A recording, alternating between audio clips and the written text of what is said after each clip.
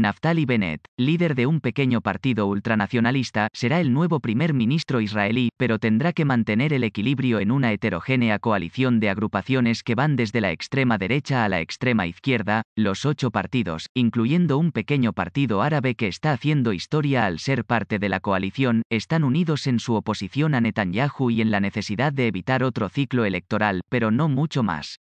Lo más probable es que impulsen políticas modestas sin alterar las relaciones con los palestinos y manteniendo buenas relaciones con Estados Unidos, pero sin grandes iniciativas. Netanyahu, quien está siendo enjuiciado por corrupción, sigue siendo el líder del partido con mayor presencia en el Knesset, Parlamento israelí, y seguramente será una enfática voz de oposición. Si una sola facción abandona al nuevo gobierno, este podría colapsar y Netanyahu tendría el camino abierto para regresar al poder. Las profundas divisiones que aquejan a la sociedad israelí se hicieron patentes el domingo cuando Bennett pronunció un discurso ante el Knesset, antes de la votación.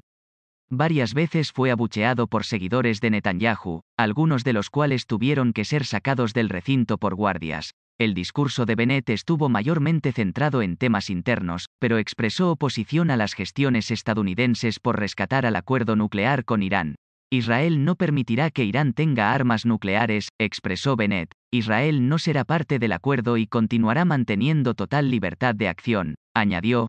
Aún así, agradeció al presidente Joe Biden y a Estados Unidos por las décadas de apoyo que le ha dado a Israel. Netanyahu, en su discurso después del de Bennett, prometió regresar al poder. Vaticinó que el nuevo gobierno será débil en cuanto a Irán y que claudicará ante las presiones estadounidenses para hacer concesiones a los palestinos, si el destino nos depara ser oposición, lo haremos con la frente en alto hasta que podamos derrocar a este peligroso gobierno y podamos regresar a liderar el país, indicó Netanyahu.